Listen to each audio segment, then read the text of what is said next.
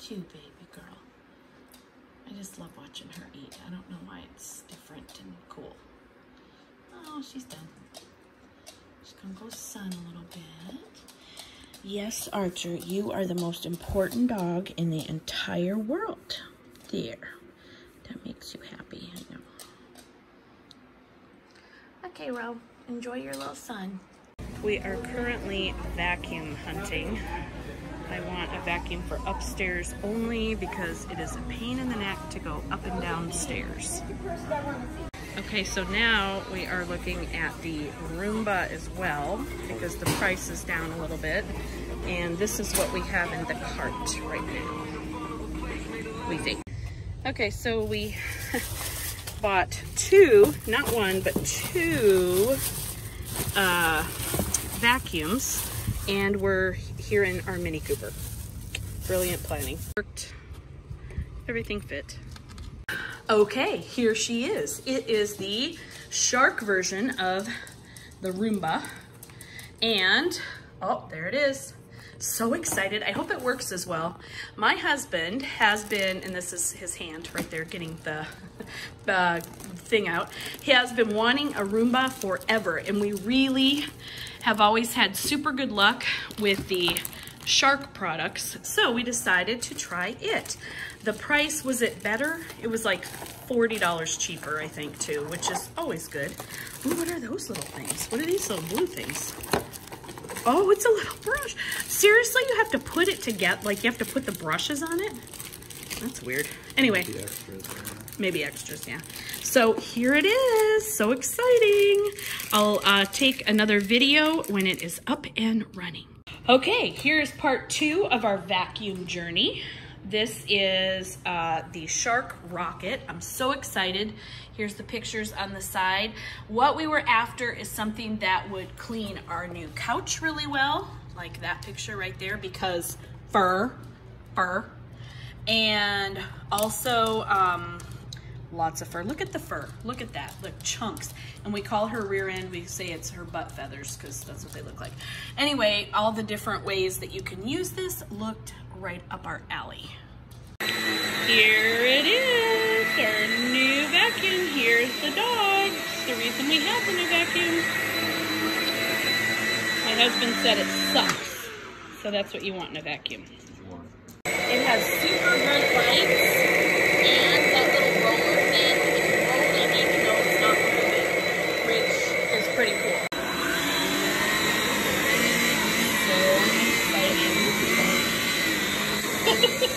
I've usually been sideways. Get what?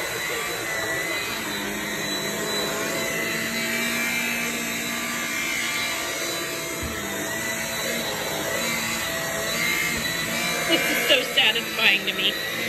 How come it won't go sideways? Mark is turned that way.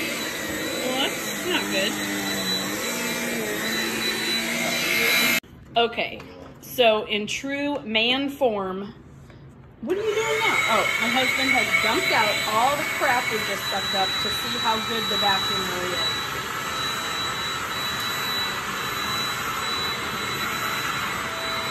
So like like twice baked potatoes, that was twice sucked up dog hair. And just FYI, that was three stairs and a rug that I had already vacuumed this morning. This is our dog hair filled life. It's your fault. Okay, quick funny story to share. It has to do with our vacuum um, palooza that we had this weekend, past weekend. Um, when we were in the Walmart shopping for our vacuums, um, something kind of funny happened. So we get up to the counter to purchase that, and we had like four other things in the cart. Not any big deal. Um, I had some folders and a couple other things. We get up to the counter, and one of Katie's friends, uh, who she's known forever, and they played basketball together, is working that day. And she came up to us and said, Did you notice a guy with a hat following you around in the store? My husband and I were like, no, we didn't. Why? Something going on? And I thought maybe like he was a bad guy, right? Somebody that they were concerned about. No, apparently we were sketchy as heck and the guy in the hat was following us around because he is an undercover security guy. And he walked up to, her name is Bree, he walked up to Bree and said, I'm following those two around, or I, I'm, I'm keeping an eye on those two. We were those two. So apparently my middle-aged self and my husband looked sketchy as heck in our masks walking around with two vacuums. I don't know. Anyway, Katie uh, thought that was a pretty hilarious story, and we did too. We called her right away when we left Walmart. Apparently, this security guy is a little overzealous, so maybe we're not quite as sketchy as we think we might be. But just wanted to share that funny story. There are security people out there. Don't steal vacuums. We were not. Promise.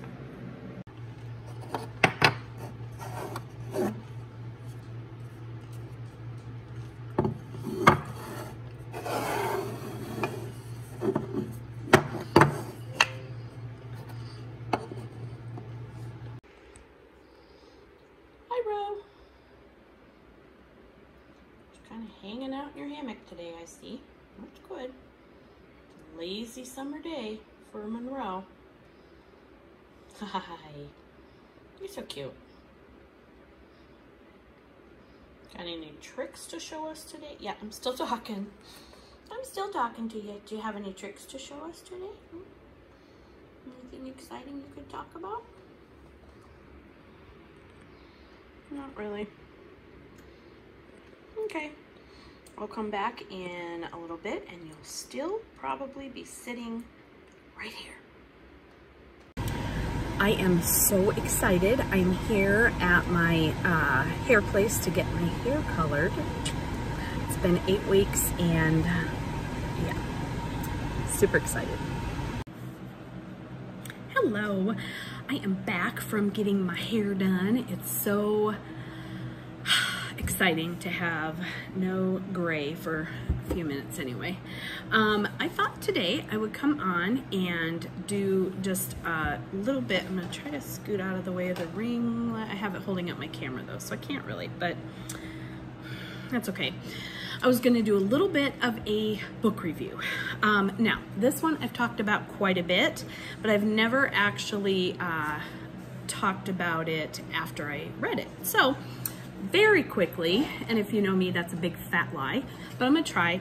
Um, Beartown, I read um, in an earlier video, if you're following me at all, uh, or if you've watched any of my other videos, I said that I knew they weren't in Canada, but I wasn't sure how far away they were, or where they were, or if they were in the United States. But then that was silly because they talk about the currency that they use. Let me find it. Hold, please. Okay, I had to look it up because it was taking too long to look through the book. Um, they use kroner. So this story takes place in Sweden, which makes perfect sense considering that's where the author lives. Really wasn't that hard to figure out. Anyway, this book was very good. It had, um, there is a violent act that takes place. So if you are not a person who likes to read um, anything controversial and violent, then you might not like this book. It was very well written. Um, one thing I love most about this author is his writing style is beautiful. He is very concise and says a lot and has a lot of emotion in very few words. And that is my favorite kind of writing. I love descriptive, fluffy writing, but I like it even better when you can say it concisely. Anyway, this story is about a town who uh, they're just kind of a small, sad little town. Most of their industry is gone. Um, there are men that work in the factory, and there's bars, and there's just kind of not a lot going on, and the town is just kind of dying. And so they are hanging their hopes on a young uh, 16, 17 year old uh, boys hockey team to kind of breathe life back into this town because they have the finals coming up and they've grown to be quite a competitive, good hockey team. So, the uh, I really don't want to say a whole lot more than that. The violent act that happens happens. Um, with a member of the hockey team and another member of the town. And um, it involves the coach in a roundabout sort of way. And, sorry, choking on spit. Um, it tears the town apart and it makes people choose um, hockey over humans and it's ugly. It gets really ugly. There is a sequel to this book called us against them. I always forget. I think that's what it's called. And i'm listening to it on audiobook. I'm not that into it. And it could be because i'm listening versus reading. Um, but this book is very readable. It's um, does this one have a book club thing at the end? No it does not. Um, here, I'm going to hold this up. This is the one, us against you, not them, you. So that's the one I am currently listening to on, I checked it out from my library. Um, if you have the Libby app, uh, that's the one that I'm in Arizona, that's the one my local library uses. Um, you can check out books that way. So the audiobook was available, so I snapped it right up. And I am only like an hour and a half maybe in, so I have hope that it will get better. Also, I'm listening to like four other books, so maybe I should stop doing that, but I'm not going to. Okay, the next book I want to talk about, I finished um, last week. It is called The Woman in the Window. It is going to be made into a motion picture. I'm so excited. So I looked it up and it was due to be released into the theaters um, May, I think, something like that. Then it got pushed back. Maybe, I think it was actually before May, then it got pushed back to May, and then it got pushed back again. So now, who knows? I'm, I have a feeling they'll release it as um, a book you, or a book, a movie you can buy.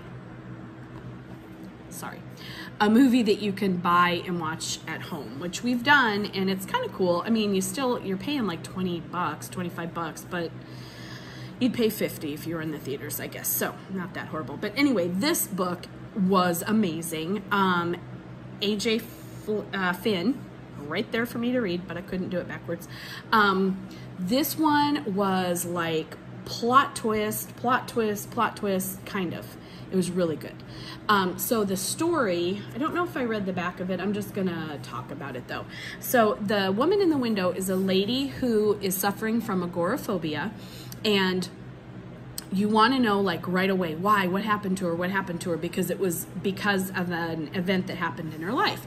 Well you don't find out until like 300 pages in what happened to her but it, the author does a great job of keeping you hanging and all that. So she is separated from her family and I can't uh, say why without ruining the story for you, but um, she's separated from them, talks to them, um, but doesn't see them in person. That's all I'm going to say about that. So she um, has some communication with some people in an agoraphobia group that she's on. Oh, by the way, she's a doctor. She's a psychologist or a psychiatrist, psychologist, I think. And um, which means she knows a lot about what she's going through. And in her agoraphobia group, she's known as her uh, her site name is the doctor's in and so people ask her questions about what she's going through what they're going through. And so she finds some comfort in that. And she watches what's going on all around her neighborhood. And obsessively so. Like if somebody moves into the house across the street and I think she's in again I don't know where it's not in Sweden.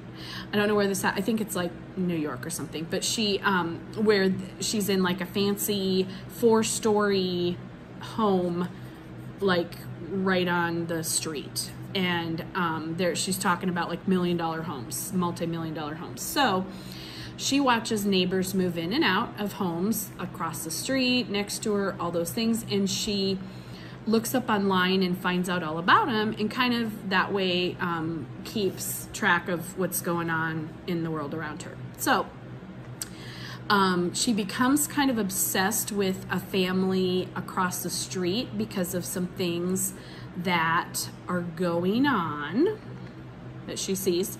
And as you can see here, it's not a secret. I'm not ruining anything if I tell you that she actually is a witness to a crime and goes through um, all kinds of doubt, and people are doubting her um, because of what the police find out, and it's really good.